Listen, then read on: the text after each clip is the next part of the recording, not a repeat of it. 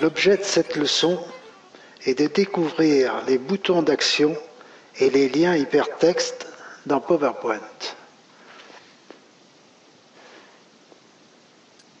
Nous allons dans Insertion, nous allons dans les formes diverses voir les boutons d'action qui se situent ici.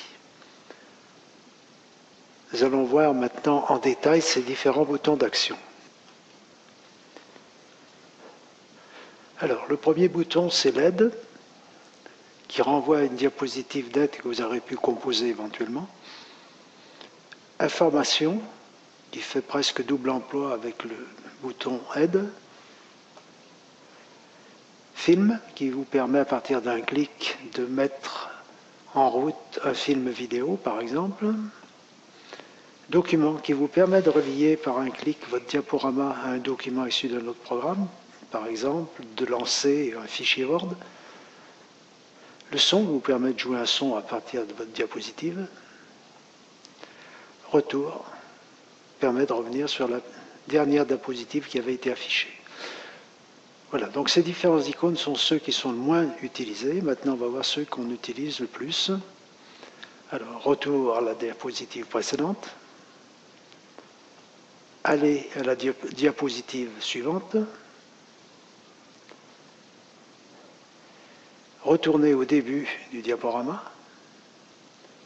aller à la fin du diaporama,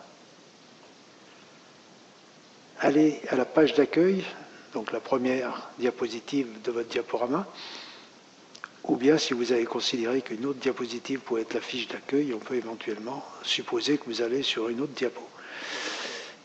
Bouton d'action personnalisé, nous allons le regarder plus en détail, celui-ci, parce qu'il permet finalement une utilisation plus complète. L'intérêt de ce bouton d'action, c'est de pouvoir le personnaliser. Par exemple, nous allons ajouter une zone de texte. Ici, nous allons taper par exemple club.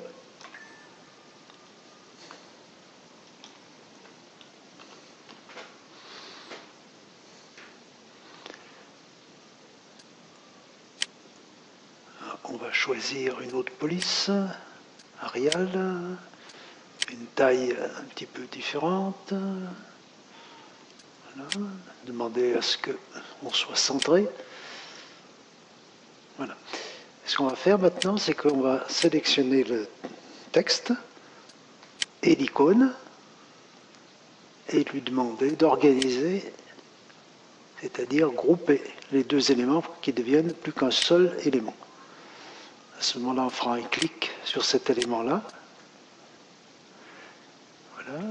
Donc on va faire lien hypertexte. Je peux choisir par exemple, non pas de cliquer, mais de partir simplement au passage de la souris sur l'icône. Donc évidemment, il faut retaper l'URL. Ok, ok. On va tester tout ça. Voilà, donc je déplace ma souris. Et, voilà, donc le déplacement de ma souris, sans faire de clic, a permis de démarrer le site du club informatique de Saint-Priest. Bien, nous allons voir maintenant une petite application. Nous avons donc un diaporama qui a 10 diapositive.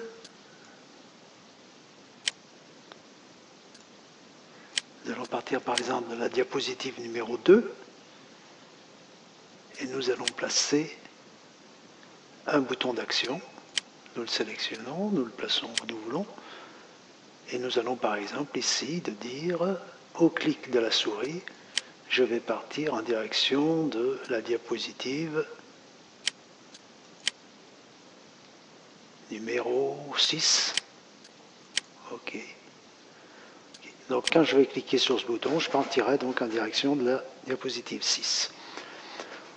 On peut très bien imaginer de mettre tous les boutons de manière à aller à la première diapositive qui suit, de retourner à la précédente, d'aller à la dernière, d'aller à la première, mais vous voyez qu'il va falloir mettre tous ces boutons sur toutes les diapositives, il y en a 10. Ça va être assez long, assez contraignant. Donc on va regarder une autre méthode. Alors nous allons faire affichage. Nous allons choisir masque des diapositives. Voilà, à partir d'ici, on peut choisir par exemple la première diapositive et nous allons faire insertion.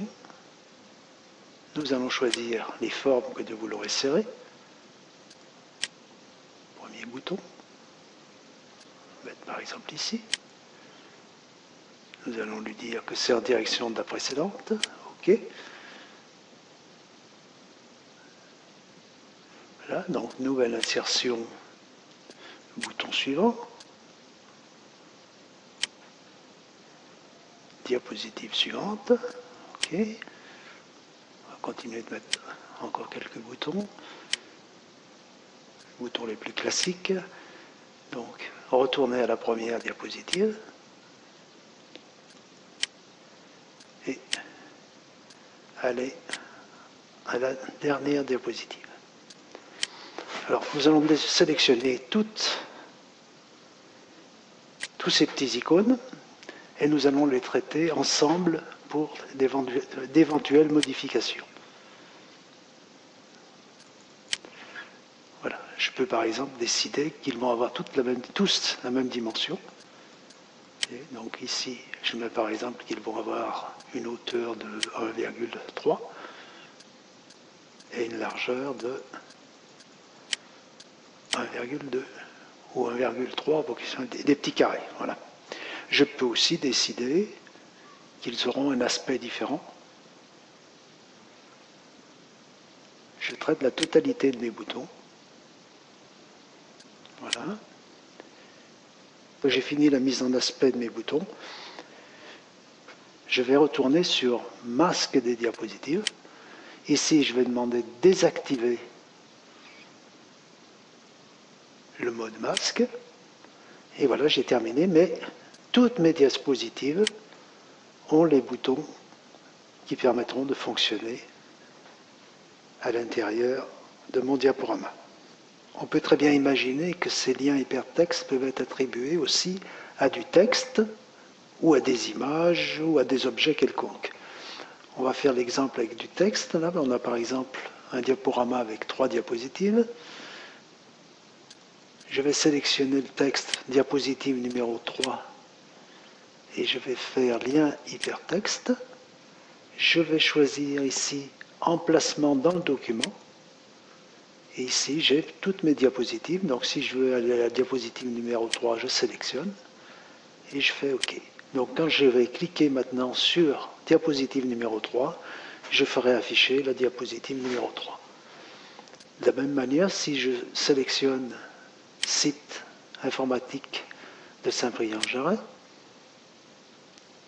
lien hypertexte. Alors maintenant, je vais choisir fichier ou page web existante. Et là, je vais taper l'adresse du club. Voilà, ce qui fait que maintenant, quand je vais cliquer sur ce lien, j'irai en direction du site de Saint-Priest-en-Jarret.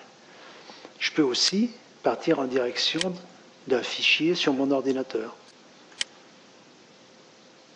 a hypertexte. Je vais choisir fichier ou page web existante, là aussi. Mais par contre, je vais naviguer sur mon ordinateur en direction du dossier dans lequel se trouve le fichier concerné. Voilà, c'est un fichier Word. Je dis OK. Maintenant, quand je vais cliquer sur ce lien, j'irai en direction de ce dossier et ce dossier s'affichera en mettant en route le logiciel Word.